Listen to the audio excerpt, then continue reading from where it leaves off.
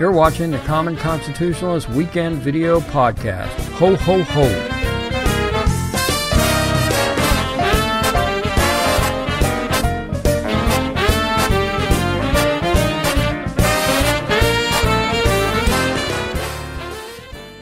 So, hey there, this is Brent Smith, and I'm the Common Constitutionalist, and welcome to another edition of the Common Constitutionalist Weekend Video Podcast.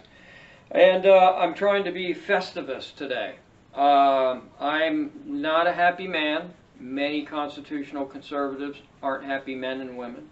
Uh, that's just the way it goes, I reckon, unfortunately. And um, so behind me, I just set up my Christmas tree, my family's Christmas tree, whatever, and uh, cut it down. Uh, went out to the woods, as you yeah, I explained before. Went out there, cut the thing down, dragged it home, set it up uh, this morning, and it looks awesome. Smells like a pine tree because it is a pine tree. Smells fresh because it is fresh. Smells like the outdoors and wild because it is. It ain't store bought. You know what I'm saying? Okay, I've got. That's how many notes I've got. I'm just going to be speaking extemporaneously, off the off the cuff, whatever. Um, like I said, the common constitutionalist is not a happy man right about now. So what I'll be discussing today, and I think I'll just be keeping it short, because if I don't, I'm going to go off, and I'll probably get yanked, whatever, maybe anyway. Two topics. First is I'm just going to touch on our spineless Supremes, and the second is the Fourth Reich. Yep, there you go. I said it. Probably get yanked right there. So that's what I'll be discussing today on the Weekend Common Constitutionalist uh, video podcast. Again, don't forget to share, don't forget to like, don't forget to comment, don't forget to subscribe. Um, we constitutional conservatives, we conservatives, we on the right, going forward, if we don't band together, you know, uh, it, it ain't going to be pretty. It may not be pretty anyway. But uh, I'll be right back.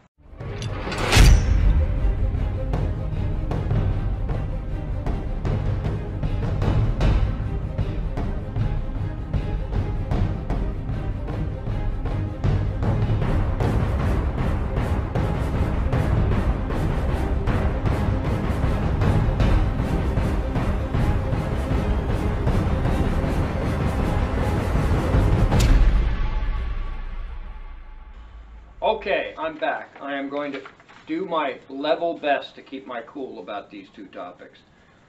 Um, the Supreme Court, they ruled that, uh, was it this morning or late yesterday?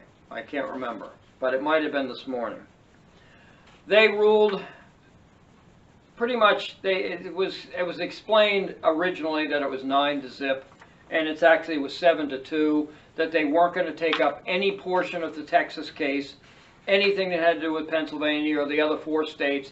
They were just going to dismiss the Texas lawsuit and it would be a moot point the way they described it.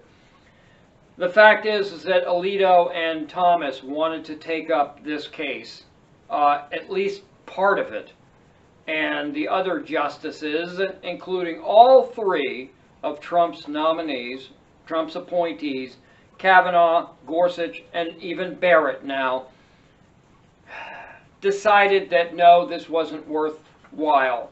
This wasn't worth the Supreme Court's time. Our national election, states against states, it says right in the Constitution that's the purpose of the Supreme Court, one of the few purposes of the United States Supreme Court no, nothing to see here. Move on. There is no, there's nowhere else you can go legally as far as redress now. Okay? We've been wronged by governments. The Pennsylvania, it's already been proven. If nothing, eh, eh, the, the thing about this thing is the, I guess, the court said that, uh, or some on the court, said that their Texas has no standing.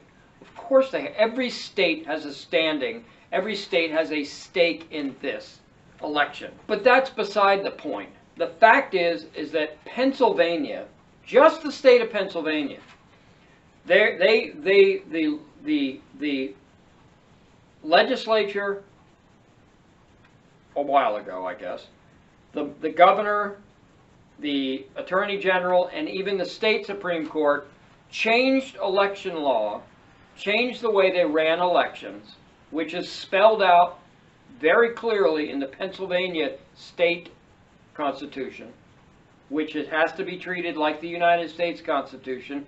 It is the supreme law of that state, of that land. Just that alone should trigger a Supreme Court hearing. Because the state Supreme Court violated the Constitution, the governor violated the Constitution, the legislature violated the Constitution, and any other officials, attorney generals or whatnot of the state of Pennsylvania also violated the state constitution where therefore violated the federal constitution. If you have states that can violate their own constitutions, their Supreme Court says it's okay, move along, nothing to see here, and then the Supreme Court denies taking up the case for whatever reason, we're done. We're finished because, the, again, there is nowhere that the state attack. There's nowhere that any of the, any of these other states that have been wronged because of the fraud of this election, and the fraud, if nothing else, the fraud was changing the election rules without amending the Constitution. Look it up in the Pennsylvania Constitution. It's as clear as day that you need constitutional amendments to change election law. You can't do it. The legislature can't do it. The uh, the governor can't do it. The AG can't do it. Nobody, the Supreme Court can't do it in the in the state of Pennsylvania. It has to be it has to be a con state constitutional amendment to change election law. Everything that they did was illegal, was unconstitutional and anti-constitutional, and that didn't trigger a hearing on the U.S. Supreme Court. But Texas has no standing. The fact is, is that Texas and all these other states that feel they've been wronged by a fraudulent election, which they have, and our Supreme Court, seven to two, seven to two, denied access to the Supreme Court for redress. Where do you go from here? The Galactic Council? What do you do? I don't know, but it, uh, it, it things are things are looking rather dire at this point. Not for the Republicans. I don't care about the Republicans and the Democrats. The, our nation is in dire straits right now, and I frankly don't know the way forward at this point.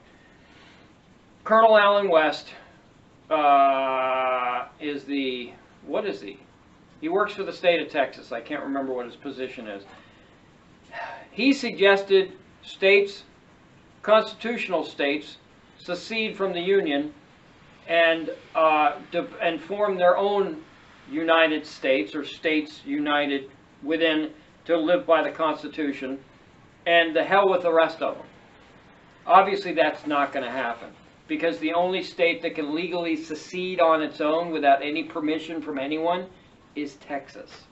Uh, you may not have known that, but yes, Texas can secede. It's the only state in the Union that is allowed to secede without any permission from the rest of the United States. All other states have to get permission or have to be signed off from the other states and the government, whatever, to say, yes, it's okay, you can leave the United States if you, if you so choose.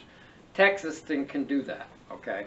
Because they were an independent, well, what, it doesn't make a difference just know that they can do that. And again, if you don't trust me, look it up, whatever. So again, I don't know where we go with seven out of nine spineless Supreme Court justices that simply, I don't know what they were thinking other than they're scared of the repercussions. Of course, they're human, but they're up there to do a job. You're a Supreme Court justice. It's the most, one of the most important jobs on the planet.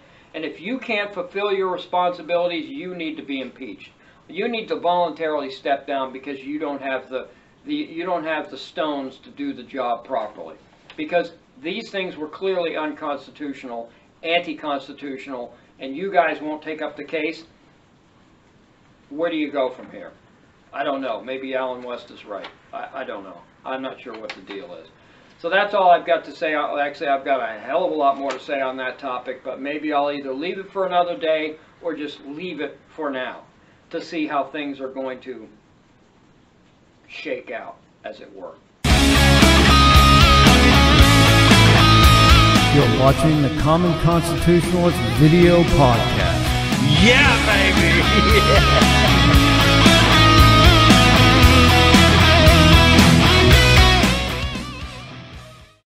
I'm back. Now, the Fourth Reich. Yeah, yeah, yeah. All right, uh, Ford. Oh, he's going off the deep end. It's hyperbole. Take him down off of YouTube. Oh my gosh, it's just ridiculous. And okay, just bear with me. Okay, allow me to explain. This is actually not going to be about Nazi Germany, okay, per se. This is about today's social media conglomerates, today's social media titans, and how they are similar to what happened in the 1930s under the Third Reich. Okay? That's all I'm saying. this, if you can see it properly, is a Volksempfänger. Okay? What that is, is a German radio. It was developed, hold on a minute, I printed out the little WikiLeaks thing on this thing, or WikiLeaks. Wiki, Wikipedia, Wikipedia. The Volksempfänger was a range of radio receivers, this is from Wikipedia, developed in 1933 by engineer Otto Griesling, Griessing, sorry, Griessing, at the uh, request of Joseph Goebbels, he was one of the devil's minions. What do you call him? I don't know. Okay. The Reich Minister of Propaganda. That's his. That was his. Uh, that was his job. Okay, of the Nazi regime. Now listen. The purpose of the Volksempfänger program was to make radio reception technology affordable to the general public. So it was like the Volkswagen, the everyman car, developed by the Nazis also okay? Because they were such great people. So the Volkswagen was a radio, um, like most radios, okay? And it picked up a few things because back in 1933 there just weren't a lot of channels going on. You know what I'm saying? But the point was, Goebbels didn't uh, didn't request that uh, that Griessing um, develop this radio uh, because he was a benevolent guy. Goebbels, the propaganda minister, knew the best way to disseminate propaganda was not in person or word word of mouth, okay, where you have to get a bunch of people together in an audience or you have to whisper down the lane and by the time it gets to about the fourth or fifth person, it's completely lost all context. No. The way you get to, to these to the populace is by radio because there was no television, there was no internet back there, obviously. All right. He knew it. He was ahead of the curve. Goebbels was as the minister of propaganda, um, and so they they made these really low cost radios that almost anyone could buy. Now recall, remember, after World War One, the Weimar Republic um, was uh, was the they they basically ran Germany, okay?